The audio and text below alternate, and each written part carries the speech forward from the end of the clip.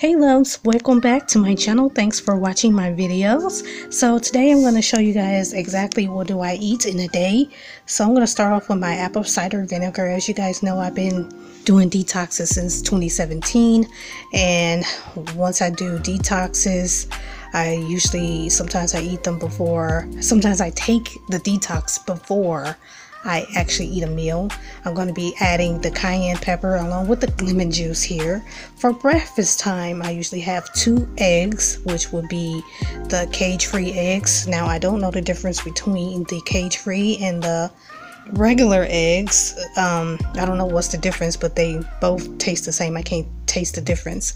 And I do like to get two eggs and put them in the skillet, scramble them, and put um, spinach along with them. So I've been trying to eat a little bit healthier um, since since um, you know I've been learning a little bit more about diets and stuff. So um, as I said, this is a good you know breakfast nutrition for you to have. I don't like sunny side up eggs. Um, I do like my eggs scrambled. Excuse me, guys. And um, this is very good. So I only ate about half of it, not all.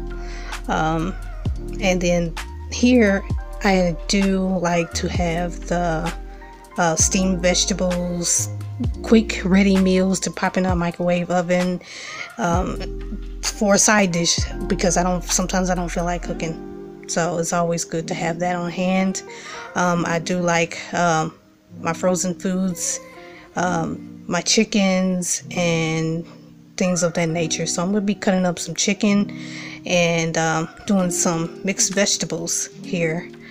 Alright guys, so here's the mix, the chicken and I'm going to be mixing in some seasoning for it as well. I'm going to do it with the um, extra virgin olive oil. Here's the seasoning. And then I'm going to be doing putting in the chicken rub. So the chicken rub is very good.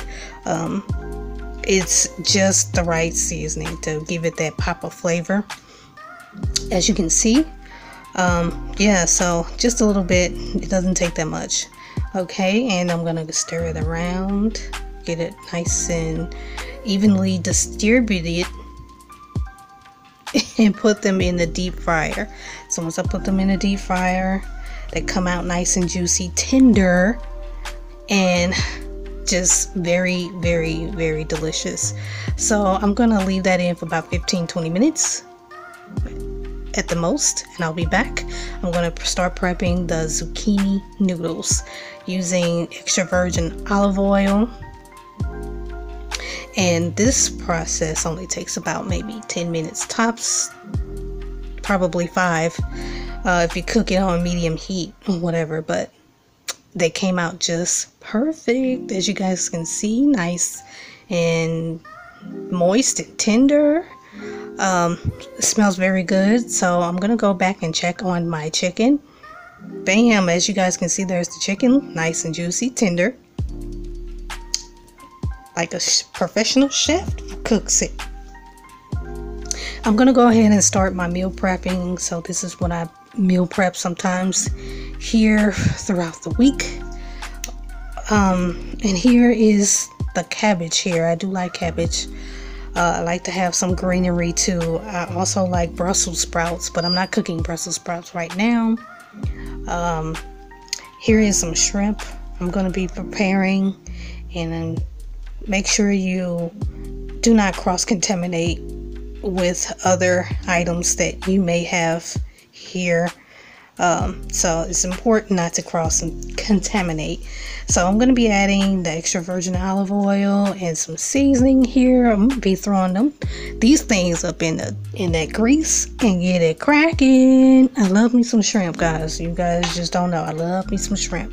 So let's go ahead and get these puppies in that grease and fry them with some extra virgin olive oil the process should take no more than about 20 minutes 15 to 20 minutes medium heat make sure they're well done um, stir and then go back and check on your other items here I am cutting up some mango. I love mango to put on top of my food. Makes it even more flavorful.